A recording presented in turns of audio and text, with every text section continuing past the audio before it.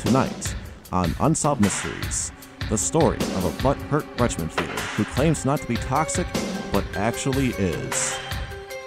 The evidence is all there, but this mystery is about the rod himself in denial of his own toxicity. We begin with this clip from the 37th Line Battle, hosted by Lieutenant Colonel Dan.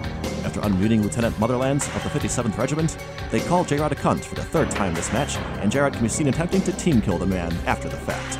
A clearly toxic attempt at retaliation, which failed because he missed, because he's bad. Rafflecopter.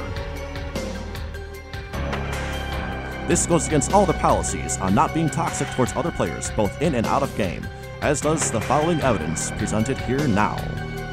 Here, you can see him shitting on the TRR, saying anybody who's able to leave the TRR with their life intact is successful. He didn't even use the right form of who's.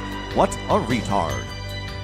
Here, he calls me Furry Man, as if I care, and calls me a hippie. Also, I have a job I do every day. It's called Your Mom, bro. Get wrecked.